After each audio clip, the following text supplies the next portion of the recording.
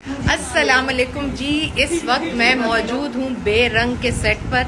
अस्सलाम वालेकुम back my YouTube channel आज की वीडियो में मैं आपके साथ शेयर करने वाली हूँ। बेरंग ड्रामा सीरियल में फाखरा के करेक्टर को प्ले करने वाली पाकिस्तानी ड्रामा इंडस्ट्री की सीनियर अदाकार सबा फैसल ने बेरंग ड्रामा सीरियल की लास्ट एपिसोड के बारे में अपने फ़ैन के साथ शेयर कर दिया है। बेरंग सीरियल। लास्ट एपिसोड में कुछ नया देखने को मिलने वाला है। लास्ट एपिसोड भी बहुत जल्द फ़ैन को स्क्रीन पर नज़र आएगी। बेरंग ड्रामा सीरियल में शरियार और एमा तो एक हो गए। अमल को घर भेज दिया है। लेकिन एमा शरियार के दिल में अपनी मोहब्बत पैदा नहीं कर पाएगी। इस वजह से शरियार एमा को तलाक दे देता है और एमा की ज़िंदगी में एक नया ट्विस्ट आता है। लास्ट एपिसोड में एमा की एंगेजमेंट हो जाती है। एमा ने अपनी एंगेजमेंट की बेरंग सीरियल से बीट्स अपने फ़ैन के साथ शेयर किए हैं, जो कि आप इस वीडियो में देख सकते हैं। अमल भी अपने घर वापस आ जाती है। एनी और अमल अपनी ज़िंदगी हँसी खुशी बसर करने लगेंगे। एमा और उसकी वालदा